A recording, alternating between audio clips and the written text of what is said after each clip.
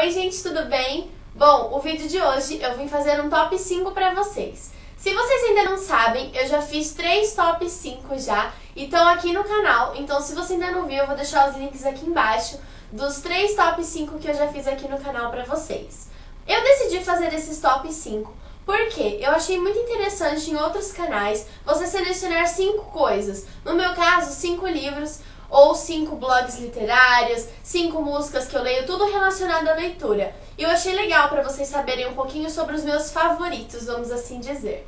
Então, o top 5 de hoje, como vocês devem ter lido aqui embaixo, são os 5 livros que eu mais chorei. Eu sou uma pessoa muito sentimental, então eu choro com muita facilidade. E nos livros, então, nem se fala. E, vamos lá? O meu top 5, o quinto livro que eu mais chorei foi a Sombra da Serpente, do Rick Riordan. Esse livro, gente, eu vou explicar o porquê eu chorei. É, nesse livro, assim, não que tenha uma, um final triste, porque é da série As Crônicas dos Kane, não que tenha um final triste a série, nada disso. Mas é que como foi o último livro, eu fiquei muito emocionada. E o final foi perfeito, tipo, não tinha final melhor para essa série. E quando terminou o livro, eu fiquei angustiada, sabe? Ai meu Deus, acabou essa série, eu não acredito. E eu comecei a chorar e eu não parava mais, né, gente? Vocês imaginam uma pessoa louca chorando porque acabou o livro. E eu fiquei muito triste. Eu pesquisei em todos os sites do Percy Jackson, Percy Jackson Brasil, fã clube, tudo para ver se ia ter uma continuação para essa série. Pesquisei no site do Rick Riordan, mas não vai ter não vai ter continuação. E sério, eu fiquei muito triste, porque vai me fazer muita falta essa série. Foram uma das melhores séries que eu já li na minha vida. E essa série é muito amor, então por isso que eu chorei no último livro. Bom, o meu top 4 é O Lado Bom da Vida do Metal Quick. Bom, esse livro, O Lado Bom da Vida, eu chorei por causa da história. O Pet ele tem um distúrbio mental, vamos dizer assim, não que ele seja doente mental, mas ele teve que passar por um hospital psiquiátrico por causa de coisas que ele fez no passado dele e que estão acarretando até hoje no presente da vida dele, coisas com a mulher, com a família, essas coisas assim. Então, a todo momento você vê uma pessoa que luta para ser uma pessoa melhor, para reconquistar o amor da sua vida, e assim, me deixou muito triste assim algumas passagens do livro que ele falava, o quanto era difícil para ele essa recuperação, que ele sempre tinha que procurar o lado bom da vida, que a gente tinha que ver sempre o lado bom das coisas, não só da nossa vida. Então ele me ensinou muito e teve umas passagens assim do livro, uns momentos que me deixaram realmente muito chocadas, muito emocionada. Então, esse é o meu quarto livro que eu mais chorei. Claro que, nossa, eu não derrubei um rio de lágrimas, mas eu chorei muito mais do que o quinto livro que eu mostrei para vocês. E o terceiro livro que eu também chorei ao ler foi A Culpa é das Estrelas, do John Green. Eu acho que a maioria das pessoas que são sentimentais e leram esse livro devem ter chorado com ele, porque simplesmente mostra a vida de pessoas que são deficientes, tanto deficientes físicos quanto deficientes mentais, quanto cegos, deficientes visuais, essas coisas.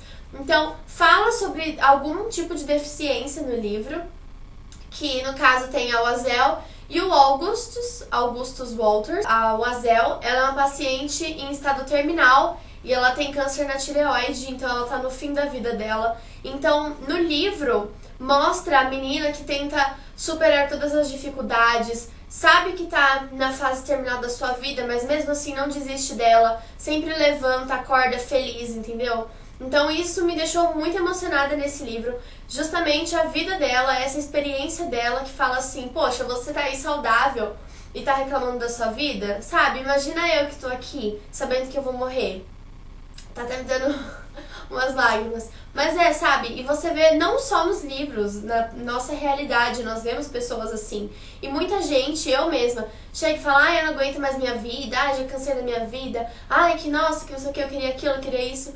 E aí esse livro me passou essa mensagem, sabe? Para você parar de olhar só pra você, olha em volta. Olha a sua realidade em volta, sabe? Você reclama de coisas assim, fúteis, sabe, inúteis, e pessoas reclamando porque não conseguem respirar, porque vão morrer, porque estão com câncer, porque não tem um olho, porque não tem, sei lá, porque tem algum problema muito maior, que vai além de problemas tipo, ah, eu não tenho aquele livro que eu quero, ah, meu pai não me deu aquele celular, ah, eu não tenho aquela câmera, ah, eu briguei com a minha amiga. Então, assim, são problemas que são fáceis de solucionar. Agora, problemas como uma doença, uma falta de um membro, de um órgão, essas coisas assim são mais profundas, a gente tem que dar mais valor, entendeu? Então essa foi a mensagem que passou do livro e justamente foi por isso que eu chorei nesse livro, por causa dessas mensagens que ele passava da Ozel e do Augustus e dos outros das outras personagens que eram secundárias que passavam para mim no livro. Então isso me deixou muito chocada, eu chorei muito com esse livro, até mesmo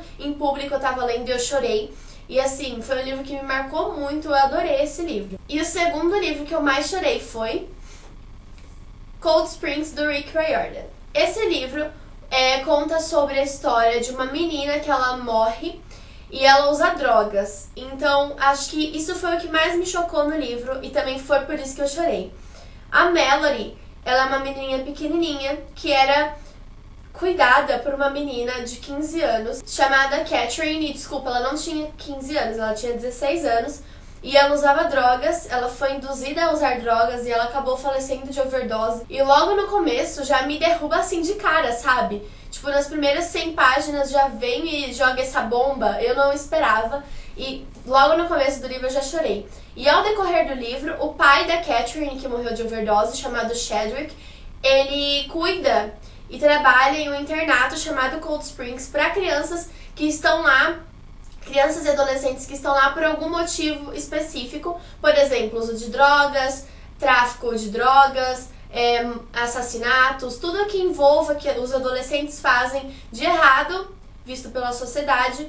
Então eles são levados para esse lugar e o Chadwick ele foi justamente trabalhar nesse internato para tipo diminuir a perda que ele sente da filha, diminuir a, a, a diminuir o peso na consciência, porque ele não sabia que a filha dele usava drogas, acabou deixando acontecer isso. Então tudo isso foi somando. Então você vê um pai que sofre com uma filha que faleceu de overdose. Aí ele vai trabalhar num lugar que tem crianças parecidas com a filha dele, que sofreram de alguma coisa, que usam drogas, que traficaram drogas, que mataram alguém, que roubaram alguém. Então você vai vendo vários casos assim que me marcaram muito esse livro foi muito bom, eu amei de paixão esse livro. Foi um livro que me ensinou também muita coisa, sabe? Como todos os livros que eu vou mostrar pra vocês que eu chorei, me ensinaram alguma coisa. Claro que teve uns que eu chorei por motivos bobos, né? Vamos dizer assim, como no último livro que eu mostrei. Por isso que eu coloquei no top 5, né? No último. Porque eu chorei porque acabou a série. Agora, esse livro, Culpa, A Culpa é das Estrelas, esse livro e o, o Lado Bom da Vida, eles me emocionaram, mas por causa da história, não porque acabou a série ou por motivos parecidos com isso. Então foi por isso que eu chorei no Cold Springs. Chorei muito, como eu disse, eu chorei do começo ao fim. Logo no começo, nas primeiras 100 páginas, eu já chorei e no decorrer do livro eu fui chorando constantemente. Então, por isso que ele está no meu top 2. E o meu top 1, que foi o livro que eu mais chorei, na verdade não é um livro, é uma série. E foi a série Fazendo Meu Filme da Paula Pimenta. Simplesmente eu não sabia como elencar o primeiro livro, tipo, o que eu mais chorei mesmo, porque para mim eu chorei igual em todos esses livros. E foi também por coisas que pra minha realidade eu já vivenciei e que estava escrito no livro. Então, quando você vê uma coisa que você já viveu no livro, é muito mais chocante, porque você lembra do que aconteceu com você, bate com a história que você leu e aí já era. Eu mesmo me matei de chorar. De soluçar, gente, juro. Eu me matei de chorar mesmo. Então, no primeiro livro, eu lembro que eu chorei por coisas que aconteceu com a Fanny quando, principalmente quando ela foi pro aeroporto, que ela ia viajar para um certo lugar, que eu não vou falar onde foi. Então, quando ela tava no aeroporto se despedindo dos pais, e ela chorava, e os pais dela choravam de um lado, ela chorava do outro, e a família e tudo mais. Eu me senti emocionada porque muitas vezes já passei por isso. Não eu viajar, mas meu pai viajar, porque meu pai viajava muito a serviço. Então era muito triste. Eu era pequena, eu tava lá no aeroporto, minha mãe chorando, minha avó chorando, meu avô chorando, eu chorando. Então me veio essa lembrança e eu comecei a chorar no primeiro livro. No segundo livro foi quando eu tava sozinha Mas eu nunca vivenciei isso, né? Porque ela tava fazendo intercâmbio, tava morando lá sozinha. E como eu acho que todo mundo que já foi no intercâmbio sente saudade da sua família. É meio, é meio que impossível uma pessoa ir viajar para fora e não sentir falta dos seus pais, dos seus amigos, da sua casa, da sua família em si. Então, nesse livro, não que eu tenha vivenciado isso, mas eu já senti falta da minha família, do meu pai, da minha mãe quando eles foram para outro lugar. Então, meio que eu entrei no lugar da eu me coloquei no lugar dela e senti as dores que ela estava sentindo. E a Paula Pimenta ela conseguiu transparecer essa dor muito bem nos livros. Muito bem, assim. Então era como se eu estivesse sentindo a dor que ela estava sentindo, a falta, a vontade de ir embora, que não aguentava mais ficar sem os pais, entendeu? E eu senti isso pra mim, porque eu também sou muito apegada aos meus pais e eu sei como que é. No terceiro livro, o que eu mais chorei foi o rompimento da Fanny com alguém. Que eu não vou falar quem é, porque senão eu vou dar spoiler. Então, no terceiro livro, eu chorei por causa da Fanny, que rompeu o relacionamento com uma pessoa e várias coisas começaram a misturar e virar uma bola de neve. Então isso me deixou muito triste, esse término do relacionamento dela. Eu nunca tive um relacionamento sério, mas aquelas paixonites de ah, eu gosto de você, você gosta de mim, a gente sai e tudo mais. Então eu sei como é isso, você vamos dizer, romper com uma pessoa. Eu sei esse sentimento, eu já sofri por isso.